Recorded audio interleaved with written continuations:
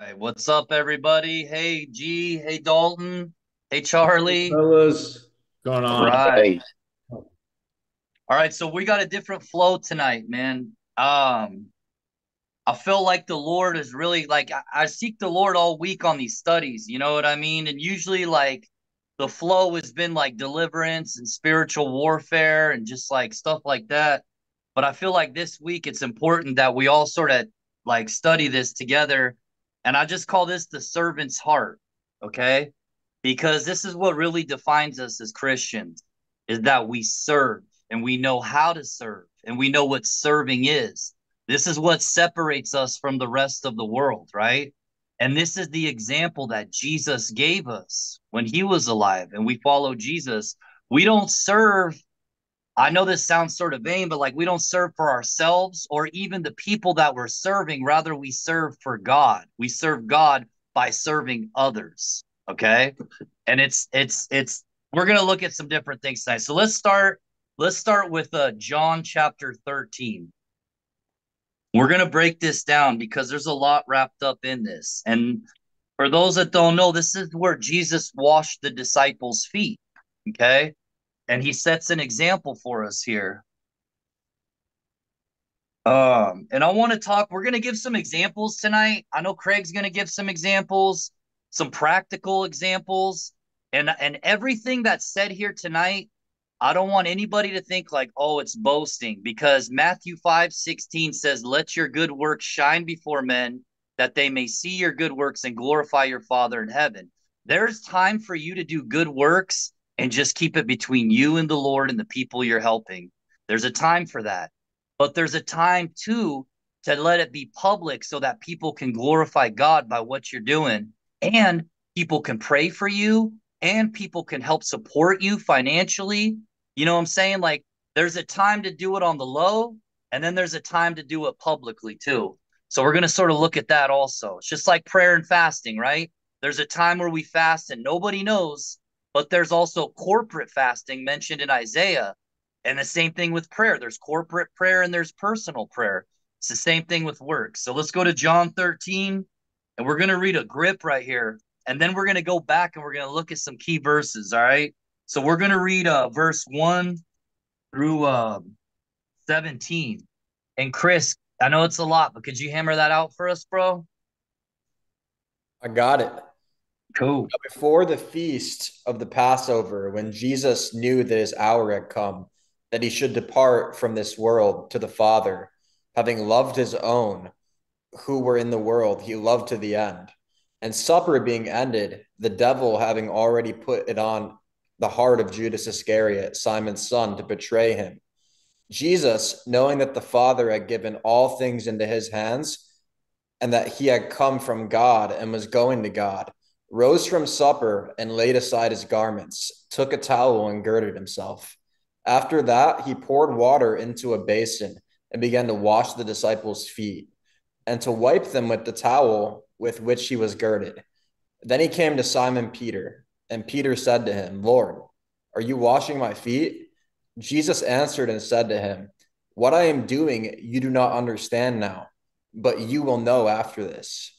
Peter said to him, you shall never wash my feet. Jesus answered him, If I do not wash you, you have no part with me.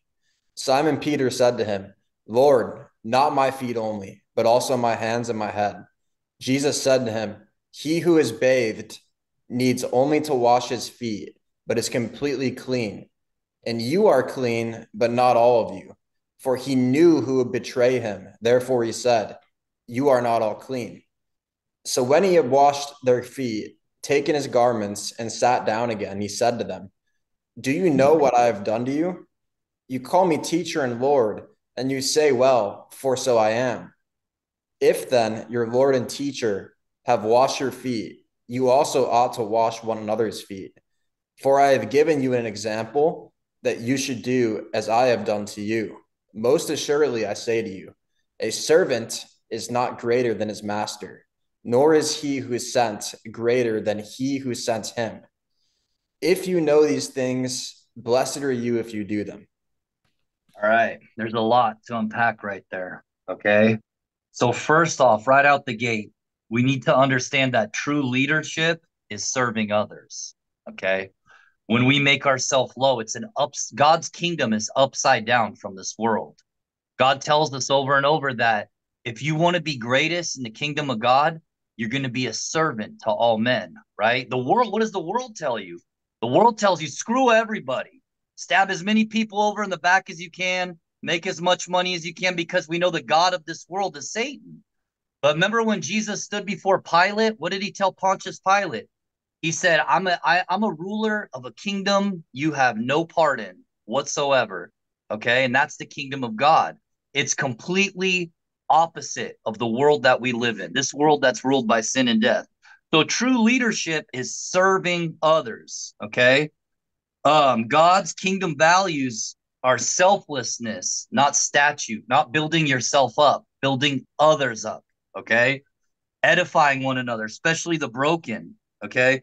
Now, the washing of feet, it symbolizes the cleansing of sin. It's the process of sanctification. Because think about it. Let's think about it on a more spiritual level, right? Your feet have contact with earthly things and they become dirty, especially in Jesus' time. They didn't have shoes like we did. They wore like old leather sandals. And a lot of poor people were straight up barefoot or wore like rags on their feet. So they're they have some dirty feet, right? But more than that, the washing of the feet nowadays to us it symbolizes this world of sin and death and Jesus washing the feet. It's like uh it's showing us, bro. It's like the process of sanctification, right? That Jesus cleanses us from that sin and death. Because when we were born, we were born into this cursed world. It's cursed, bro. We all start dying the minute we're born. And true life only begins when when we leave this body. That's when real life begins. This isn't life, man. This is like a, a test, a building up, a preparation for things to come. This whole world is all gonna everything in this world is gonna be destroyed. The earth's gonna fail, right? Everything on it's gonna die, and God's gonna recreate it. That's what the whole end of the Bible's about. The new heaven and the new earth. So Jesus gives us this beautiful washing of the feet to symbolize, right, that process of sanctification, that cleaning us how Jesus cleaned his disciples' feet from that. He washed that dust, that dirt, that earth, that cursed earth off their feet. And that's what the example he gives to us that we should serve others with that heart of a servant, right? That same heart that Christ had. So I want to look at like a couple verses out of this whole portion of scripture that just sort of pop. So like verse 4, right? Let's see. Verse 4 says the uh, he rose from supper and laid aside his garments and took a towel and girded himself. Okay. So laying aside the outer garment, Jesus sort of signifies putting off himself. And to gird oneself in scripture uh, over and over, the girding, you know, we have the belt of truth that girds our waist. It signifies to be bound or restricted with humility. Okay.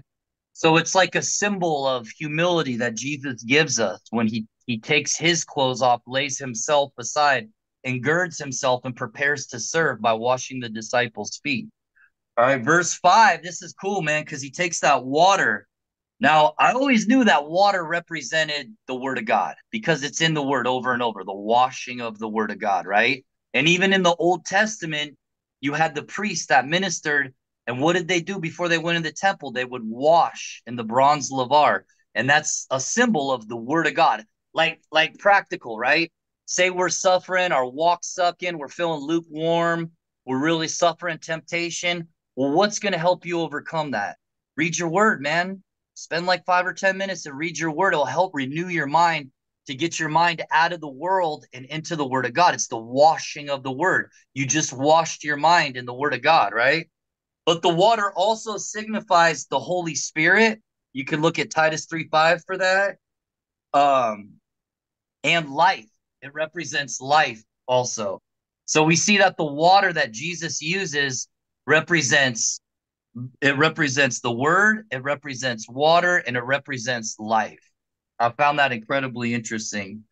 And overall, like what I get from John 13 is that what Jesus is trying to teach us is obedience, service, and humility. And I want to know what what are you guys gleaning from that scripture? Because we all got something different to bring to the table here, you know? Yes, good topic, Matthew, once again. And uh, I think that it's not easy to be humble as a man in a in a dirty, hairy type of uh, you know world that we live in. Amen, Arnie. Yeah. Um, I thought that this tied into to two key things. So, uh, like Arnie just alluded to, um, ego, like it, it's kind of impossible to have ego when you realize that a like you're not the one really like responsible for this. Like you're just blessed for any anything that you're doing, and b anything that you are doing, you're not doing it for yourself. You're doing it for you know the Father. Um, so I think that that's it's that's kind of like something that made me understand uh, the sin of ego a lot better is that the reason why it's so bad um, at least my understanding of it is that uh, the reason that it is so bad is because it's it's essentially like disrespecting the lord um because you're taking credit for what he's done and uh how he's blessed you. And the other thing is that it kind of separates out like who uh you know because some people will think that like oh well you maybe you can like still go to heaven uh even if you don't believe that you know christ was a savior. And that also like isn't really true because like if you're a good person but you don't believe in god then you're you're not really doing those things for the right reasons right? Like you should be a good person and believe in God because if you're doing both of those things, then you're doing it for the right reason. You're doing it for the Lord. You're not doing it for yourself, right? So those are two things that I thought of. Good. Yeah, amen, bro. Anybody else? Yeah, I just like what he said about ego. Uh, you know, it's not easy to conquer the ego. We have to do it on a daily basis. Um, you know, continue to stir up and bring up humility. And I think it kind of takes a lifetime to uh, learn how to master the ego because being human beings, we can't totally get rid of it. I mean, we need a little bit of personality, character, ego, whatever you want to call it, to, you know, function and push forth. But uh, mastering the ego is like uh, mastering yourself, right? Mm-hmm. Yeah, and that's I think why the Lord is asking us to put our own needs and ego to die to that crap essentially so that we can serve others. And it's to it's to glorify God and help people, but also it helps us too to get rid of that ego like when God puts us in lowly situations, right? And that so we can help people. It's like humbling of us as well, you know. G, you got something? Yeah, yeah, absolutely. Um, I mean, the the whole thing is about being a servant. I mean, when you think about it, you've got the King of Kings, the Lord of Lords, the creator of heaven and earth coming to serve his own creation with humility and love. And, you know, it all ties into the joy and the peace of the Lord because if somebody begrudgingly serves others, they're going to do it with an attitude, like going to a restaurant mm-hmm. and the the the server's got a crappy attitude, spills spills your drink on you, you know what I mean, and and stuff like that. We have to, and, and that that would be representative of somebody not having the joy of the Lord that's just doing it to to just push through it, you know. But with with the mind of Christ, we can do all things, and He changes our heart into wanting to serve others and that becomes our mission. And we do that in given with whatever gifts god has given us in our professions and uh, with our work and, and, and things that we do. That's how we serve others you know and always being a representation of jesus christ is important in all types of adversity and and things like that Amen. because people see the spirit you know what i mean people see the spirit of god in in us and they also see it when it's not in someone those with right. discernment yeah so you hit on something real like you just said something and, and that was the next topic actually that i wanted to look at You just said that when we serve, we need to serve with the joy of the Lord, right? And that's scriptural, bro. So let's go, let's go to Psalm 100. And it's cool. I'm glad you brought that up, dude. Amen. Because it's true. Like, think about Paul talks about when we give, like financially to help any ministry, right? Whatever. Mm-hmm. He says, do it with with joy out of the, your abundance of your heart, because mm-hmm. God loves a cheerful giver. Well, when you serve, you're giving your time, you're giving your emotions, you're giving of yourself to help somebody else out, right? So it's like a form of giving. So it's important that when we do that, we have the joy of the Lord and not be like you said, all begrudgingly. That's, that's a good point, bro. Amen. Praise so, God. So Psalm 100. G, you want to read those five verses? The main text I'm, i want to focus on when you're done is sure. verse 2. Okay. Make a joyful noise unto the Lord, all ye lands. Serve the Lord with gladness. Come before his presence with singing. Know ye that the Lord, he is God. It is he that hath made us, and not we ourselves. We are his people and the sheep of his pasture. Enter into his gates with thanksgiving and into his courts with praise. Be thankful unto him and bless his name. For the Lord is good, his mercy is everlasting, and his truth endureth to all generations. Amen. So, verse 2 right there, where it says, Serve the Lord with gladness. Okay. I looked up that word serve in the Hebrew, right, to break it down to get a better understanding of what it means to have a ser- servant's heart, right? And that word right there in, in Hebrew is abad, and the number is 5647. The definition means literally to work for, to do labor for somebody. It means worship also, which I thought was really cool. Uh, and the root word of it goes back to labor or slave or servant. But I thought it was interesting that the Hebrew definition for serve is worship. So our serving is a form of worshiping God, right? You're giving up what you got to build somebody else up, and you're doing it and and like Dalton said, in God's name, right? You're building others up for his kingdom. That's like a form of worshiping God when your heart and mind are all in line with the Lord and you're doing it from a right place. See, the problem is you got a lot of people, bro, they think they're saved by their serving, right? They think they can like earn favor with God. Or they some people are even confused enough they think that their salvation comes through this too, which is wrong, right? But when your relationship with Jesus Christ is right, he's good, bro, and he lives inside of you. So you're going to be like a cup overflowing with his presence. It's, it's just good things are just going to come out of you. It's not you, it's the God who lives inside of you. That's his nature is good. So you're going to serve people. You're going to do good things, man. That's just the, you know, that's just him, bro.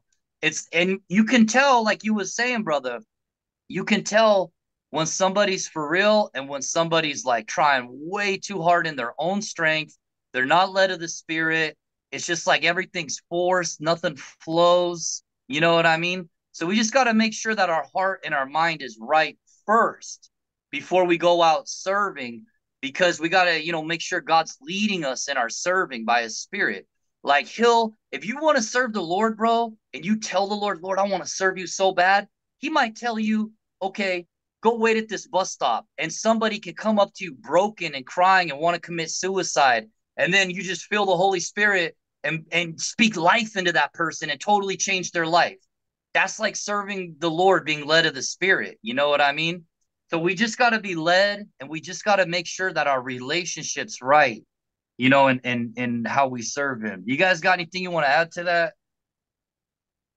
Uh, yeah, Matthew. Um, yeah, I'll say that again.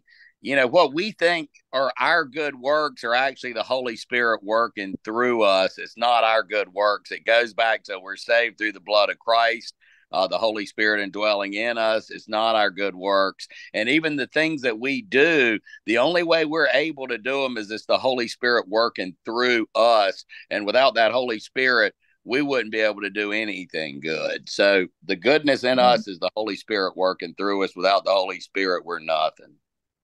Hey, you mind if I testify real quick, Craig, of what you got going on? Uh, yeah, fine. Okay, so Craig has a, a servant's heart, guys. And like when I've seen Craig serve before, and he has like this uh, childlike joy. And it's funny how God God gives us the desires of our heart, right? And uh brother just had like some knee surgery and he wanted to help with the hurricane relief stuff. But because he had knee surgery, couldn't really do too much. But Craig can drive a side by side like crazy good, bro. So God presented an opportunity for Craig to roll with like a group of guys throwing like ATVs and side by sides into the mountains and haul food and supplies to the people that are hurting in the mountains right now. And I thought it was awesome because it's like I see Craig's heart, you know, like that that that joy he gets when he serves and he loves to ride and stuff. It's just I thought it was really cool that God took the thing that Craig likes to do and presented an opportunity to be like, serve me doing this. You know what I mean? And it's it's awesome, man.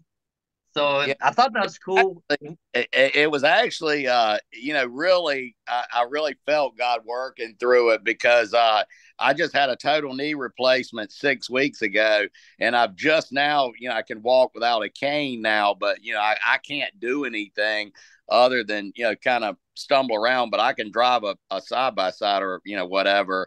And uh ironically i didn't even really think of being able to do that and be of any service but i was talking to my pastor at my baptist church and he uh he he he just happened I, I told him i said i'd love to help but you know i can't really do anything with my knee out and then a few days later, he called me and said they've got a team there uh, and they've got like a base camp with like hundreds of people there, and that there's a big need to try to get food up into the mountains where the uh, roads are closed and they can't get uh, automobiles or you know trucks or whatever to it.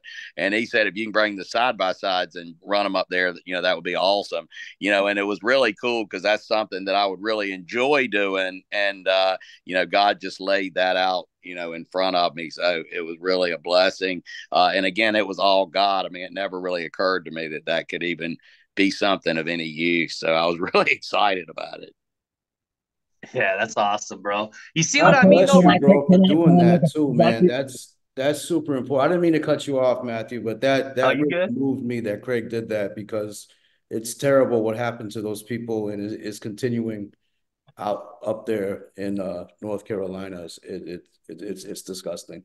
But God bless you, Craig, for doing that, man. For real. Praise God. And I think, and I think the uh, my opinion is that the bottom line for a man is if he can take action, the action is service. And uh, today I was traveling through Montgomery, Alabama, and uh, I didn't see any burning bushes this morning, but uh, I was inspired by God to stop into Montgomery and evangelize for about an hour and a half, and then I moseyed on my way. But um, anyway, I think it's important to plant seeds, take action, and that is service to me. Amen. Yeah, and you see what I'm saying, guys? How like God, when you're led of the Spirit, God just sort of opens doors. Like you, all you have to do is just joyfully walk through the door, and God lines everything up for you. And you can tell when somebody's faking it because they have to open the door themselves, right? They got to make all the provision. Everything's difficult. Nothing works. It's all a big mess, right? Because they're doing it in their own strength. We got to be led by the Spirit, man, and let God open these doors for us. I think it's pretty cool what Craig's doing too, man. And if we could just keep them in our prayer, keep them in your prayers and that team he's working with, that they get to the right people who need to be ministered to and who need help, that'd be awesome, you know? Man. Amen. So let's jump now to uh let's go to Matthew 19. Can I share one thing? Yeah, Charlie. Uh, yeah. So you're talking about being led by the Spirit, but I guess you were working on your vehicle there. It was around the same time I was, and you gave me a call, and you were pretty quick to. Uh, every time I talk to you, I want to be truthful, right? So you're like, "How's it going? How's the marriage going?" and stuff, and pretty probably the Holy Spirit was like, "Well, you know, how is it going?" So I said, "You know, I smoked weed again. I don't really want to do that. And right away, you prayed with me. And that stayed with me. So then you said, be careful because you might be tested in a couple of days anyway. A bunch of friends were down.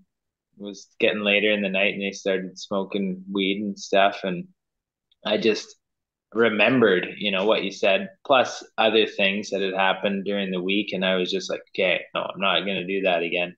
And we went to church today and we got up and told this little testimony, but I even said my friend Matthew, you know, he encouraged me. So then we sat down and then this other girl got up and she was like so sincere. She said, you know, I really have been struggling with smoking and and she shed some tears and she just said, I've been playing uh, the Bible app and I've been spending time in prayer, uh, listening. She said that I want to get closer to God. And she just kind of knew that that was something that was keeping her back. And, and she said, I'm just grateful to know that I'm not the only one struggling and that we can tell each other these things and overcome it. Mm-hmm. So I believe, you know, you're serving when you're paying attention to the Holy Spirit. It might be something like that, but you don't realize how that little seed can cause, you know, a big kind of effect amongst the other believers. It was awesome. Amen, brother. Yeah, that's that. Yeah. God's ways are not our ways, brother. Like the Bible says that His thoughts are are higher than the heavens compared to us. So that's why, like, one of the key things too with with serving is obedience. You know what I mean? Because God will tell you to do something and it may not really make sense all at the moment, but later on it will make sense, right? There's even a scripture that says that. It says, if, if you commit your works unto the Lord, he shall establish your thoughts. Meaning, when the work comes to your heart, you don't even know in your mind what the heck's going on, but you know the Lord is pushing you in a direction, right? And the Bible says that as we commit those works to the Lord, he establishes our thought process as we walk it out with them, you know? So yeah, Charlie, absolutely. And another thing too, you fulfilled that scripture in uh what is that, first John 1 9. If we confess our sins one to another, he is faithful and just to cleanse us from all unrighteousness. It's a beautiful yeah. thing, bro. It is very beautiful. It's very encouraging. Amen, brother. All right, let's jump over to uh and Matthew, can I interject one thing?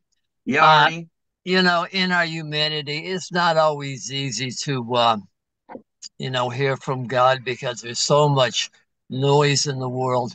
And I don't know if anybody's gonna understand this, maybe some of you will, but uh, you know, sometimes I hear from God, sometimes I uh you know, I grab some posters, I go out, I grab some tracks, and I just go out and push the doors open and then see what the uh, see what the Holy Spirit does. But um, I am a man of action, and I I uh, I take action because I know that the uh, the devil's taking action in this whole world. So I take action too.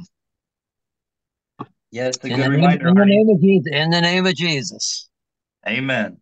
All right, Matthew 19, we're going to read 28 through 30, and I want to focus on the last verse, which is 30.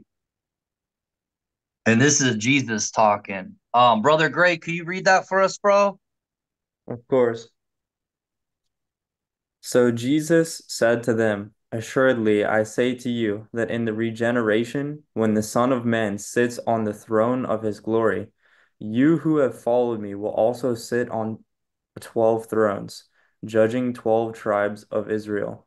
And anyone and everyone who has left houses or brothers or sisters or father or mother or wife or children or lands for my name's sake shall receive a hundredfold and inherit eternal life. But many who are first will be last, and the last first. Okay, that's the key I want to look at here is this mystery that Jesus gives us, right? He says, Many who are first will be last, and the last will be first. And I mean, this is sort of confusing it's very sort of confusing when you look at it, right? But like what Jesus is saying is he's saying it came on it. What's that? John? Oh, I thought I was muted. I'm sorry. uh, you're good, bro. Oh, my fault. All right. So so when we reach for the last, we're putting God first. You see what I mean? It's not that you're like coming in last and that you're failing, but it's like like Jesus, nobody took his life he gave it as a gift. He willingly laid it down. And that's what essentially he's telling us to do. You come in last that God may be put first in all things. You're lifting God up rather than yourself. That's what Jesus is saying. And when he's talking about like this rewards thing, yeah, it's like the rewards he's talking about are given by he- like heaven standards, not earth's. And that's what the parable he goes into in chapter 20 is all about, right? The different how all the dudes that labored, they all got the same reward, right? Some came early, some came late. It didn't really matter in the end. They all got the same wage and reward. So um yeah, there's that. So we got you know rewards is a rewards is a is a is a subject I don't know, man. The way I feel about it is like again, it goes back to what we were saying earlier. The heart needs to be right with God, right? Because rewards is great and all, but if you're serving God for rewards only, then there's something wrong in your heart. You should be serving God just because you love God and you're thankful for what God's done for you in your life and you want to build his kingdom up. You shouldn't be serving God to like get something out of it. That's sort of selfish in nature.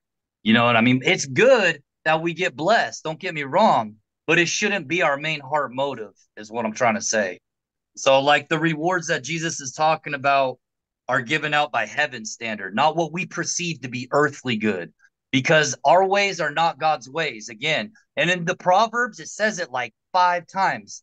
It says, There's a way that seems right unto a man, and its end is in death.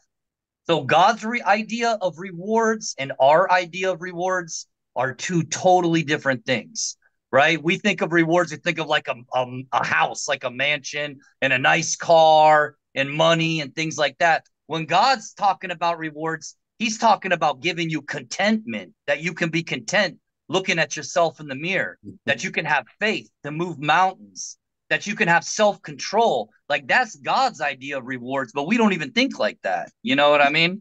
So it's it's an interesting concept to think about. Um, does anybody want to say anything to that before we move on? That was well yeah, said, bro. Well, go ahead. Amen. I, I just like the comment, brothers. I, I mean, it's easy to say that, you know, all the rewards are going to be the same, but when I get to heaven, I'm sure Moses, John the Baptist, Elijah, they're going to have different places in heaven than we are going to have. So uh, I think that uh, even Jesus said that uh, you know, it's not given to me who's going to sit on the right hand or left hand of the Father. So I think there's there is heavenly rewards, and um, it's kind of all hard to understand all this. But uh, I don't know. I don't want my money back. I uh, I'm a happy camper. I'm a happy camper on this on this team. Amen, Arnie. all right. All right, let's jump over to Revelation 19:5. So um when G brought that thing up about, you know, serving the Lord with with joy, we looked at the Hebrew definition to serve out of the Old Testament. Now we're going to look at the Greek definition out of the New Testament. So let's go to Revelation 19:5.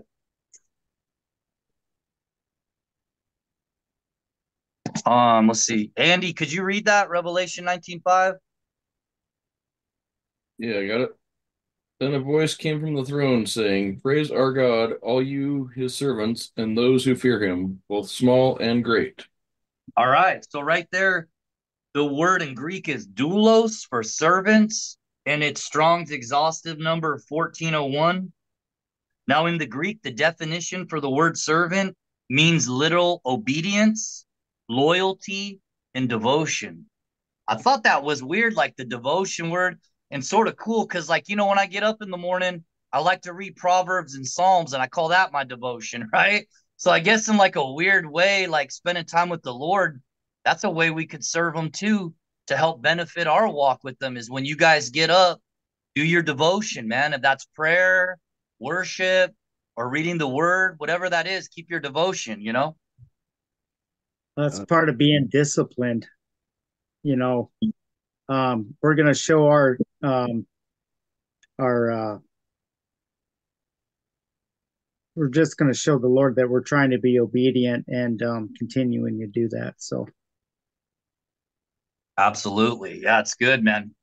And that discipline is is crucial, man. Because I like to, I really like to preach like the uh, nine fruits of the Holy Spirit, Galatians five. You know, the love, joy, peace, all that. The last one being self control. And as a man, that really is like the hardest fruit to cultivate for the Lord is self control, you know? It's very hard, but disciplining helps to cultivate that. When you can discipline your diet, you can discipline your reading time, your prayer time, heck, even serving, right? You can put aside time that you're going to serve. Like all of this is good ways to exercise that fruit of self control and discipline, man.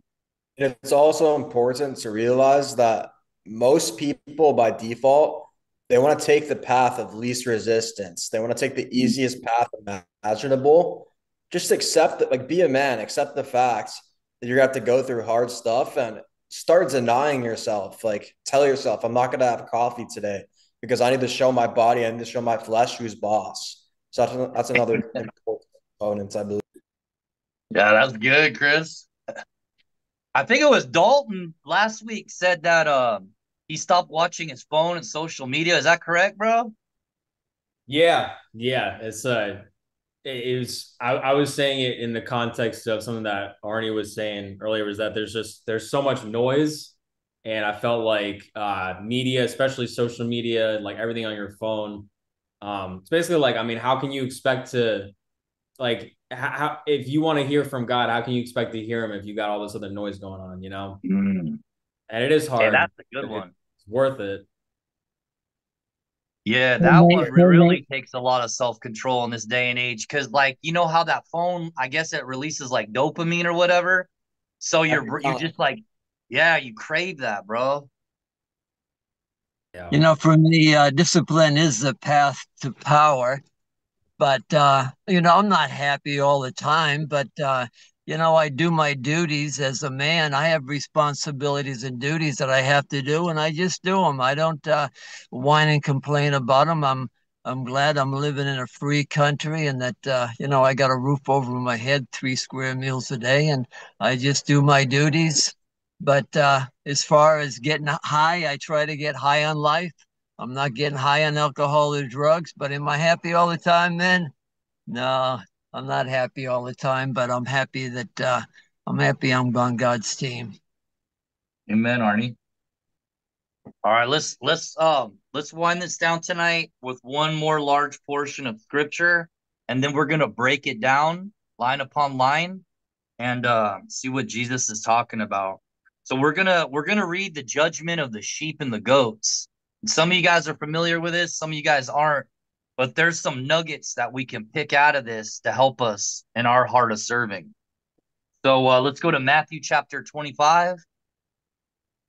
And it's going to be a bulk read again. It's going to be verse uh, 31 to 46. Let's see. Uh, Curtis, could you read that for us? Yes, I will. But when the Son of Man comes in his glory, and all the angels with him, and then he will sit on his glorious throne. All the nations will be gathered before him, and he will separate them from one another as the shepherd separates the sheep from the goats. And he will put the sheep on his right and the goats on his left, or on the left. Then the king will say to those on his right, Come, you who are blessed of my Father, inherit the kingdom prepared for you from the foundation of the world. For I was hungry, and you gave me something to eat. I was thirsty, and you gave me something to drink. I was a stranger, and you invited me in. Naked, and you clothed me. I was sick, and you visited me. I was in prison, and you came to me. Then the righteous will answer him, Lord, when did we see you hungry and feed you, or thirsty and give you something to drink? And when did we see you a stranger and invite you in, or naked and clothe you? When did we see you sick or in prison and come to you? The king will answer and say to them, Truly I say to you, to the extent that you did it to one of these brothers of mine, even the least of them, you did it to me.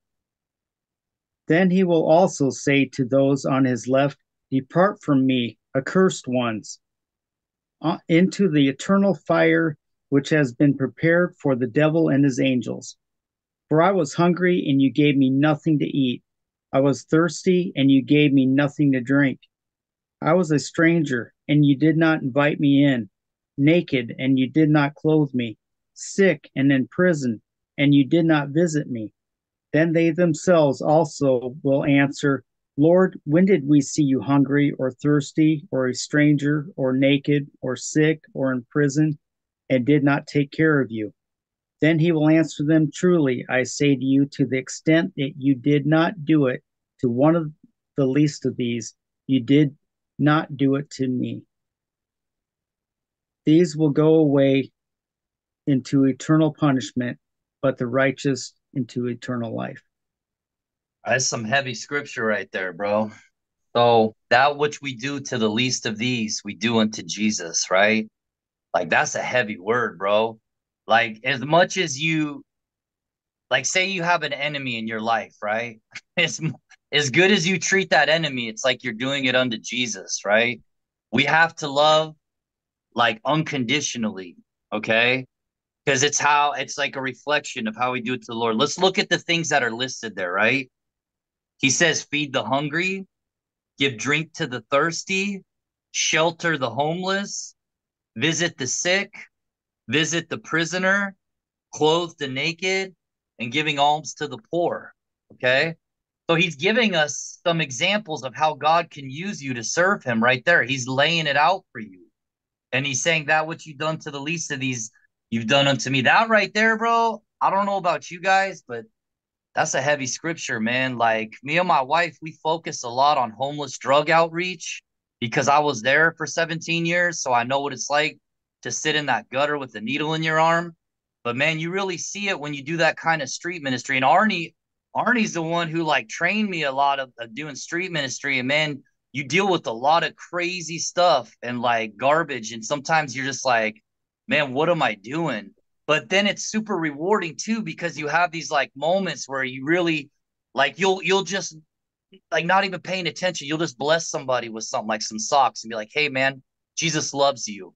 And and they'll start crying and just break down and just be like totally wide open in the spirit and you can start praying over them and so it's crazy man when you when you really serve the lord like that you know what i mean i just wanted to share the scripture with you guys to just sort of reflect on the things that jesus is listing there and just keep that in mind dude like next time you see a bum asking for change or or whatever that god like that god will put in your heart man maybe maybe that person maybe you don't have a dollar to give him maybe he just needs somebody to talk to. Just go talk to the brother and be like hey how you doing man? What's going on?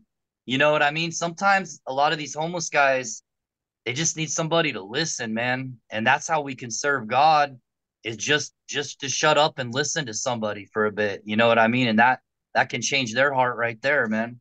What do you guys think about that matthew 25 you know uh matthew uh one thing too of the spiritual connotations uh being hungry for the bread being thirsty for the water being a prisoner uh you know a prisoner with um sin or you know different evils um and uh you know it, it can go both ways too uh you know what in revelations when they're talking about the churches uh you know one of them it says that uh you know you're rich and you know all this but you're really poor you know uh mm. so uh you know this could be um uh, uh, just somebody that needs the word and needs the gospel yeah i've heard that you know the the wheat and the tares is god's judgment between the believers and the unbelievers and then that this judgment that we just read the sheep and the goats is how God's going to judge the believers, right? These are people that believe in Jesus Christ.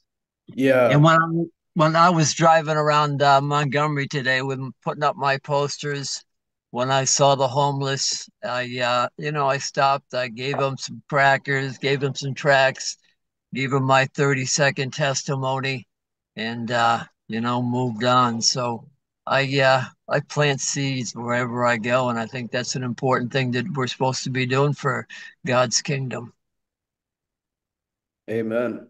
Amen. I mean, this this scripture here is literally the gospel to feed the mm-hmm. hungry, to take care of the poor, visit those in prison, the stranger, and it's all throughout God's word. I mean, this isn't just New Testament stuff. This is all you can go back to Genesis and find that this is the way we are supposed to treat each other, love each other, and take care of this world that God has given us the stewardship over.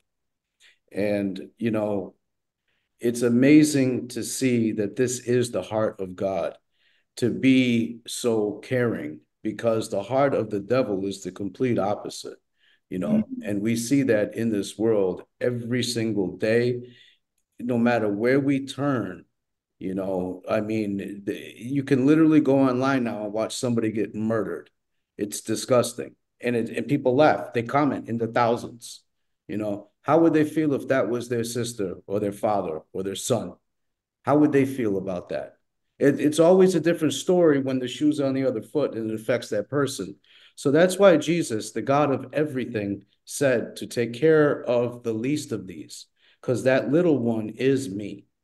And what you do to that one will reflect in the world to come. And I think it's very important, Matthew, like you said, that this here in 25 is a judgment upon the church, not against the unbelievers and the believers like the wheat and tares, the sheep and the goats. And this goes back to Leviticus when the uh, Israelites would let the Azazel, they called it, the scapegoat, go and put all the sins of Israel for that year on that goat. Well, at some time, God comes to collect the check, and that check is the payment is judgment. And none of us could pay that price. The blood of Jesus Christ already paid that price for all of us. So we need to accept it. We need to get the Holy Spirit in us and live with the heart of God, the heart of flesh that He has given us, and act accordingly. Like Arnie was saying, plant them seeds. No matter where we find ourselves in the world, plant the seeds, plant them, because God will give the increase. Somebody else will come along and water what you planted. You know, it's very important. Very important, guys. Amen, bro. Well said, G. You know, I, uh, anybody else? I, I was gonna say I've heard you talk a few times, G, but I was thinking to myself, and I was going to write all throughout God's word.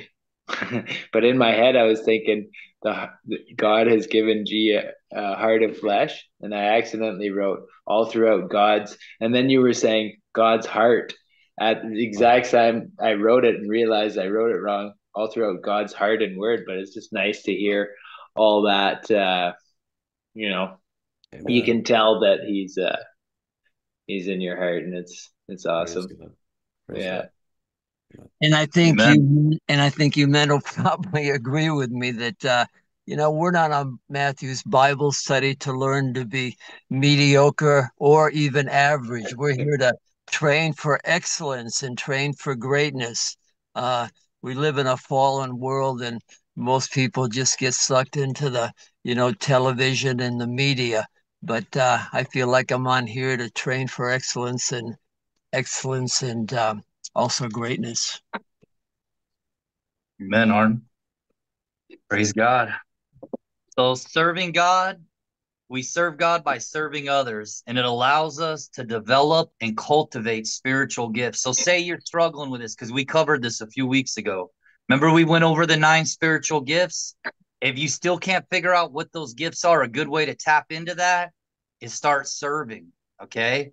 When you put others first above your own needs, God will start to manifest those gifts in your life, right? It allows us to experience miracles. We can look at Stephen's life for that, right? Um, we become more like Jesus when we serve. It increases our faith when we serve. Um, if you're dry, it will allow you to experience God's presence, and it's good for your soul, man. What's our soul, G? What three our, things? Our soul is our emotions, it is our mind, and uh, what would be what? The will. The will. That's right. That's right. The will. Yep. So it, it benefits your mind, your will, and your emotions yeah. when you serve God, right? because bro we live in an emotional world and everything mm. plays on your emotions bro and god's telling you to shut them emotions off crucify them to the cross and focus on him. So a good way to practice doing that is to get up and go serve man. It crucifies that stuff you know? Amen. Amen? All right. Has anybody got any final thoughts or anything tonight before we wrap this up? I i had one final thought. Um I always struggled with being intentional, you know, right at the on at the moment on the spot, serving others, especially when you see somebody in need. And um, you know, I live in a rural area. I'm not like near a big city or anything. I don't. I'm not in the trenches. I don't see the uh, the um, the things that a lot of people see, like you do, Matthew. When you're in the trenches, you're seeing that every day, pretty much. We don't, you know, where I live, we don't really. A lot of things that are happening in the world hasn't really reached my area, and I think um, if he's from Vancouver, he might I mean, the guy from Vancouver there, I don't know if he if he's in a rural area or not, but um, Charlie. But um, where I live in Upper Michigan, we're away from uh, metropolitan type areas, and we don't really see the things that you do near the cities. And um, but as far as being intentional, do you have any words of wisdom for like um, how to go about being intentional um, in serving others? Yeah, that's a good question, bro. I, I honestly, um, I would just say to pray and ask the Lord to direct you to be led of the Spirit, right? Because you can think of like 20 things in your mind right now that you can do to go serve God. But what is God telling you to do? That's the most important question. Because God will put you like I like I was saying earlier in the path of that suicidal person, right? God will put you right. Maybe somebody's about to make a big mistake in their life you'll just happen to bump shoulders with that person while you're out serving the Lord. You know what I mean? So the most important place to be like to just be intentional to serve God is just pray and ask the Lord to put you. You know what? You know what is a good thing to pray for is that me and my wife always pray for is for divine appointments. That God will line up a divine appointment and and put that together, right? And the devil will try to like separate that. He'll try to mess everything up so you don't you don't run into that one person, bro. Like whenever we go out on the streets, like we're leaving on uh, Thursday or Friday to go back out, and we'll go city by city. When we hit a city, we hand out like probably like two, three hundred socks to the masses. But before we went out on the streets, we prayed for 20, 30 minutes for that one person, that one divine appointment that God will line it up. And it always, every time, I don't think the Lord has never not answered that prayer, bro. We always have one special occasion where, like, as soon as you meet this person, Curtis, you'll get like Holy Spirit chills all over your body. Like, you know that God just lined this up, and the Holy Spirit will bring confirmation. That right there is like the sweet spot to serving the Lord, bro. That's where you want to be. You know what I mean? So pray for those divine appointments and pray and shut your flesh off and your mind to be led by the spirit, you know, and not your own strength. Amen. You know, it also makes me think of in Proverbs where it says, In all your ways acknowledge him and he will direct your path. So I'm really That's just put him first and trust him. Amen, brother.